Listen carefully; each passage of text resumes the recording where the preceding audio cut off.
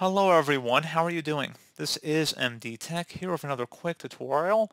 In today's tutorial, I'm going to show you guys how to resolve if the print spooler service keeps stopping automatically on your Windows 10 or Windows 11 computer.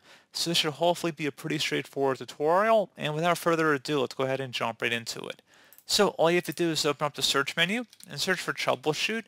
Best match, go back with troubleshoot settings. Go ahead and open that up. On the right side, underneath Options, you want to select Other Troubleshooters. And then underneath Most Frequent, select the Printer Troubleshooter and the Run button.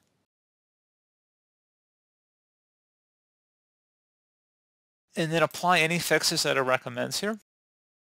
And once that's done, go ahead and close out of here. Open up the search menu and type in Services.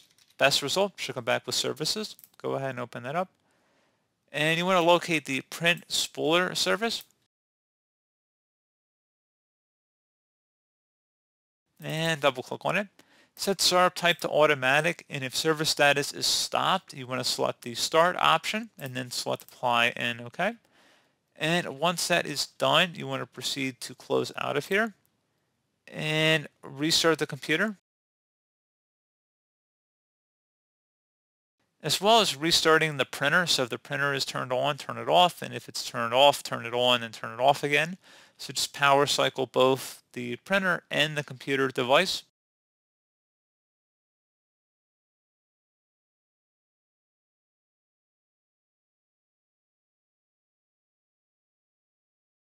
So there you go guys. Hopefully that was a pretty straightforward process for you.